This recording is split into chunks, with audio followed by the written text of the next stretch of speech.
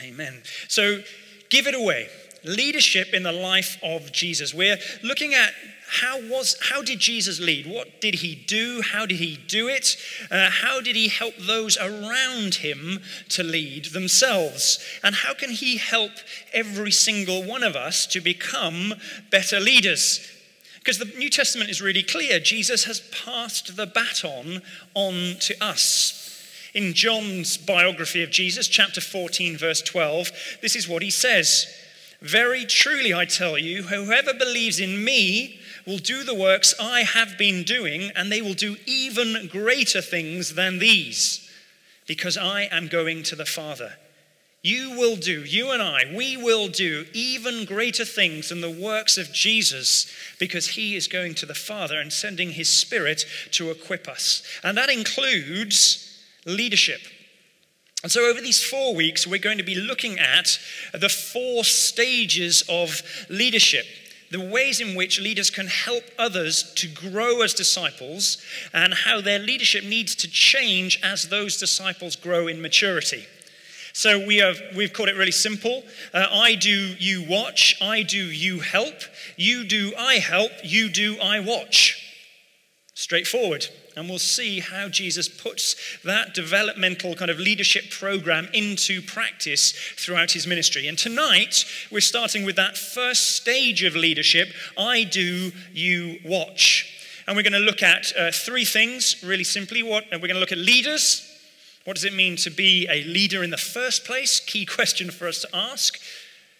Apprentices, what does it mean to, to grow as uh, disciples and followers of Jesus, but also as leaders?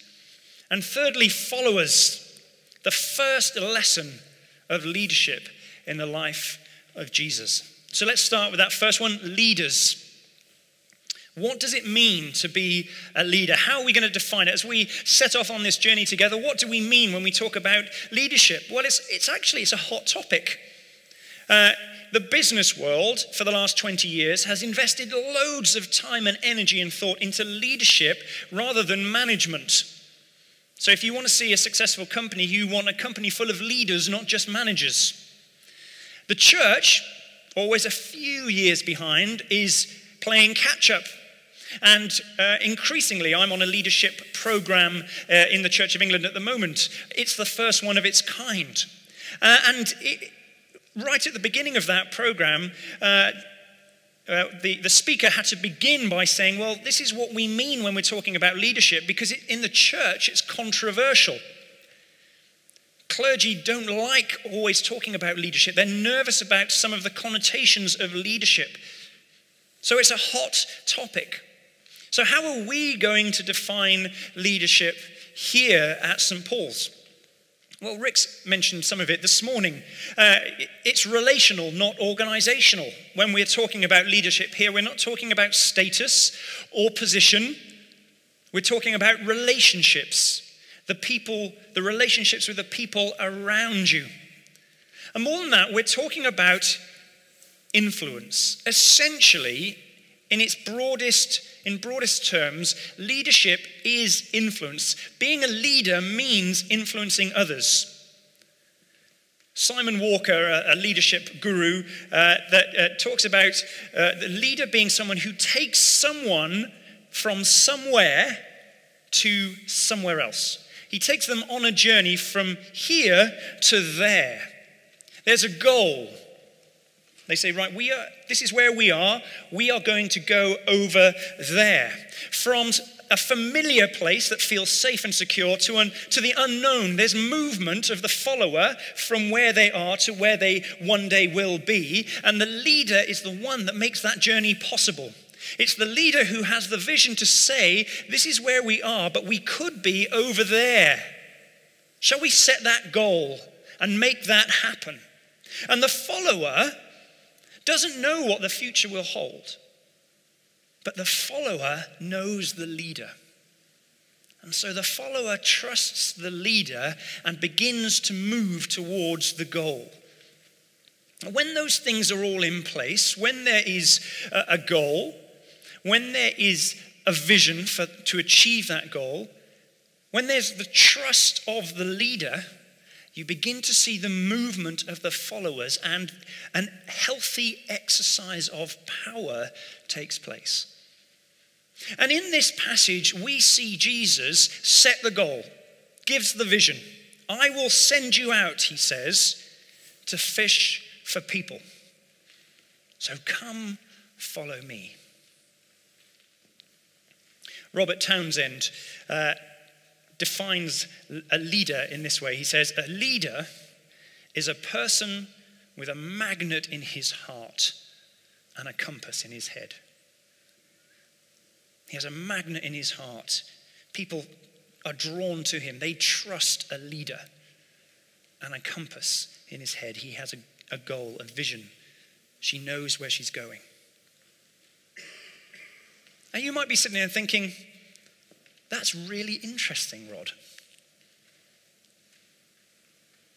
That applies to the person next to me who I know is a leader, but I'm not a leader.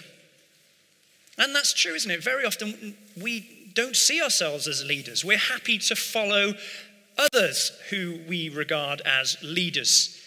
We uh, say, you know, we are offered the responsibility of making decisions, and we say, no thanks, I'm happy to give that responsibility to someone else. But the truth is that all of us influence others. If you're a parent, you influence your children. If you're a teacher, you influence your students. If you're an employer, you influence your employees. Uh, if you uh, manage a team, you influence your team members. Uh, if you're older, you influence younger people. Your if, you're, if you have friends, which I suspect most of you do, you will influence your friends. Mike Breen, who's an, another uh, leadership guru, he said this We all look like sheep from the front, but shepherds from the back. In other words, someone is looking to you to lead, and you are looking to someone to lead you. We all look like sheep from the front, but shepherds from the back. We are all leaders, whether you realize that or not, or whether you like that or not. And the truth is, you can do it. You can unlock your leadership potential because leadership is a skill that everyone can learn. There was a hugely influential book uh, 20 years ago, I think it is now or so, uh, so ago, called uh, Emotional Intelligence by a guy called Daniel Goleman. He has shaped how we understand intelligence uh, you know, in, in Western thought, really. Uh, but he wrote uh, another book called Primal Leadership and uh, which was engaging with this idea of emotional intelligence. And he says this he says, The challenge of mastering leadership is a skill like any other, such as improving your golf game or learning to play slide guitar. He's an American. Uh, anyone who has the will and motivation can get better at leading once he understands the steps. And the first step towards becoming a leader like Jesus is to adopt a particular posture. What one uh, writer, Robert Quinn, in his book Building the Bridge as You Walk on It, which I think is one of my favorite titles for any leadership book, uh, describes as the fundamental state of leadership. He contrasts that with our normal kind of state, our normal posture, if you like. And he says most of the time we are self focused. We have as our focus our interests and our own needs. He says we are also externally focused. So when we look at those around us, the thing we're most concerned about tends to be our reputation. How do those around us see us? And he says, and internally we're closed. We are, uh, we want security. We are happy in our comfort zones, and we tend not to naturally go beyond that. And lastly, he says, we're comfort centered, so we're quite reactive. We, we, we settle into a pattern that we enjoy, that we're happy with, and only if something breaks into that do we have to respond to it. That, he says, is our natural state. And, and he says, to remain in this, this normal state, refusing to change while the universe changes around us, is ultimately to choose slow death. And so he challenges every one of us. He says, if you want to live life to the full, learn to lead. Adopt this fundamental state of leadership, this posture. And he describes the posture in this way. He says, it's not self focused, interested only in my own needs and interests, it's other focused. My primary focus is the common good. I'm not externally focused. I worry about what others think about me and my reputation. I'm internally uh, directed. So I am, my decisions are shaped by my values. I'm not internally closed, just happy in my comfort zone, but I'm externally open. Not only am I willing to step outside my comfort zone, I delight in the joy of discovery of exploration, of trying new things. And he says, lastly, we're not comfort centered, just reacting to those things that break into this wonderful, safe world we have created for ourselves. We are purpose centered. We know what we're about. We have a vision for our lives, we have a goal, a purpose. So we are proactive. We make things happen. How do we move from this normal state of existence, which is a slow death for every one of us, to this fundamental state of leadership? How do we get from here to there? Well, that's what we hope this series will help us to explore a little bit. And you might think to yourself, goodness me, that sounds like a mighty amount of effort. Can I be bothered? Do I want to go on this journey from here, which feels great? My needs are met, my reputation's good, I feel comfortable, I managed to deflect most of those things that break into my life. Why would I want to go over here, which feels so much more risky? Well, it's because your leadership matters. Your leadership really matters. What I've found in, in all of the uh, kind of uh, reading that I've done or the thinking that we've done together or whatever it is, we see that you can, you can tweak things here in an organization. You can try new things and do things in different ways. But the only um, guarantee of growth and success will be the quality of your leaders. You can come up with whatever name you like for a connect group. You can define it in any way.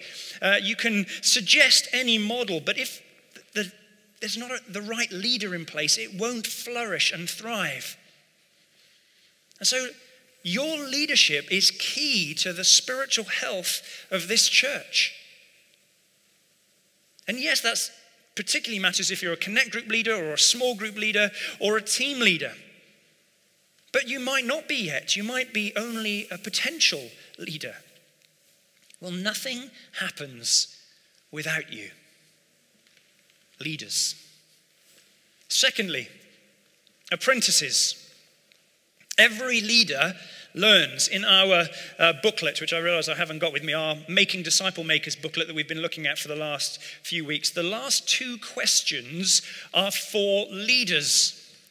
And uh, the, the, the, um, the fifth question is all about learning. What are you learning at the moment? And it asks three things What are you reading? What skills are you learning? And what experiences have you learned from? It recognizes that leaders are, are learners and they go through these, this, these phases of growth. Because, first and foremost, every leader is a disciple. And so, what you see in this passage are, are, a group of disciples that are enthusiastic. They've been called of Jesus. They're feeling honored by that call, but they are incompetent. They have no idea what they're getting themselves into. And then you see, as they begin to grow, things go wrong, and they begin to realize that they're incompetent, and their enthusiasm wanes, yet they're still incompetent. But slowly but surely, over the time, as the leader invests in the disciple, they begin to grow in confidence until they become confident and competent too. And the Bible's really clear that that sort of growth for a disciple, it's normal. That sort of movement and development, it's normal. If we are not experiencing that sort of development in our lives, we're stagnating. We're, we're just treading water, waiting to sink. And leaders Lead disciples through this process of growth and development and change. And leaders, therefore, need to adapt to reflect where it is that those they're leading find themselves. And so the different uh, uh, techniques, I suppose, that we're talking about in these uh, four weeks are around direction and coaching, collaboration, and eventually delegation. But what we see in this passage, right at the beginning of Jesus' ministry, is that the disciples, they are enthusiastic, but they are incompetent. Yes, they, they're pleased that Jesus has, has picked them out as ordinary fishermen. A rabbi has just chosen them. They can't believe their good fortune. But really, they are naive, they're idealistic. And do you notice what, how Jesus approaches them in that state? He's direct, he's not consensual. He says, Repent and believe, the kingdom of God is near, come follow me. He is assertive. He doesn't look for consensus and agreement. He's confident in his proclamation. He says, Take it or leave it.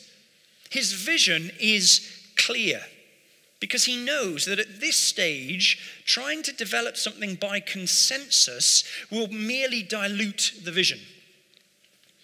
Marcus Buckingham, uh, probably my favorite leadership guru, uh, in, in his book, The One Thing You Need to Know, says this of clarity. He says, effective leaders don't have to be passionate, they don't have to be charming, they don't have to be brilliant, they don't have to possess the common touch, they don't have to be great speakers. What they must be is clear.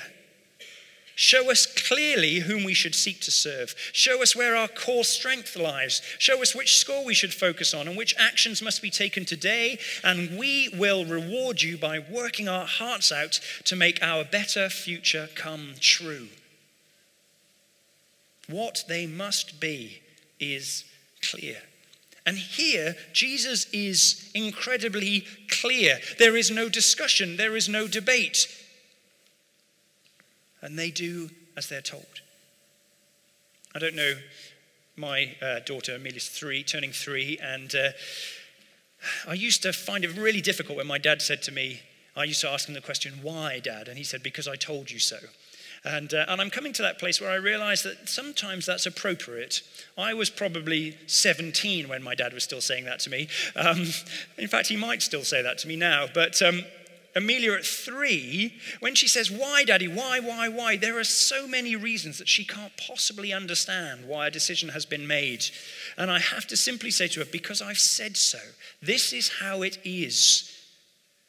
And that's the stage, in a sense, that the disciples are at, right at the beginning, when they are enthusiastic but incompetent. It's like riding a bike. You don't um, uh, just say, how, how would you like to do it? You give clear instructions. This is how it, you will not fall over as you begin to ride your bike. So Jesus sets the direction of travel. He is direct, but he is also available. So he is a, an example to follow. So he models his instructions. So when he is clear, they know what that entails. He sets their expectations. He, accept, uh, he kind of exemplifies their behaviors. And so, what you see in the whole first half of Mark is a huge amount of I do, you watch, then we talk. And so Jesus engages in this kind of rapid succession of healings, of exorcism, of preaching. The disciples do none of it, they just watch what he does. And there's very little explanation, but there is constant observation. So much so that when uh, the, um, the, the, the Pharisees saw the change that had taken place in the disciples, they thought, hang on, they have been with Jesus. So Jesus does, and they watch, and then they reflect on it. So, leaders, apprentices, always learning. Thirdly, followers. Now, I don't know how you responded to me saying, well, actually, look, in this first phase of leadership, Jesus is direct, he's not consensual. He sets a vision, he's clear, and says, Take it or leave it. Come follow me. Maybe you felt a little nervous about that, a little anxious. Because I think that reflects our culture. Our culture is nervous about that sort of direct leadership. We don't like being told what to do. We're nervous of authority. We have seen too many tyrants. We don't want another one. How do we avoid that? Well, it's remembering that we, as followers of Jesus, follow a particular leader. Christian leadership is distinctive. Christian leadership looks like Jesus. And so, before we are leaders, first and foremost, we have to be followers. And that means leading like Jesus. And Jesus describes himself as the good shepherd. He says, I'm not like a hired hand that's in it for the money, in it for the kudos, for the reputation, the prestige, or the pay. No, I am I love my sheep. I'm passionate about my sheep, so much so that I will lay down my life for my sheep. I will live a life of sacrifice and love for those that I lead. So later on in Mark's gospel, Jesus contrasts the leadership he expects of his disciples with the leadership that they saw around them from the Romans. And this is what he says Jesus called them together and said, in Mark 10:42, "You know that those who are regarded as rulers of the Gentiles lord it over them, and their high officials exercise authority over them. Not so with you.